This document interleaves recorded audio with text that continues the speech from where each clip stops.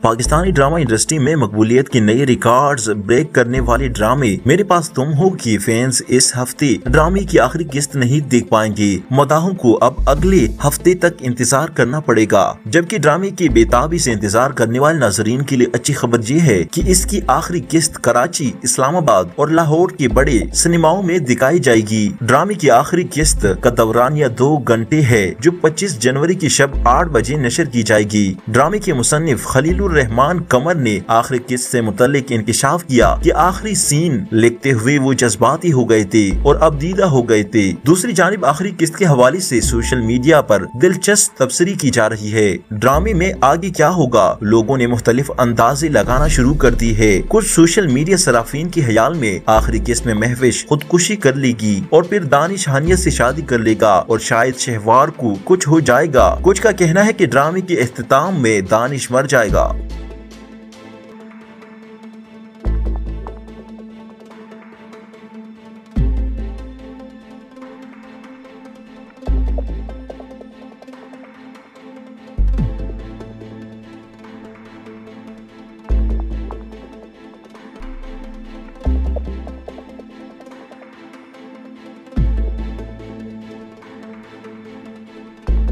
اس video کے نیچے دی گئی سبسکرائب بٹن کو دبائیں اور ساتھ میں بیل آئیکن کو دبائیں۔ ویڈیو کو لائک کریے شیئر کریے اپنے دوستوں کے ساتھ میسنجر پر، فیس بک پر اور واٹس ایپ پر۔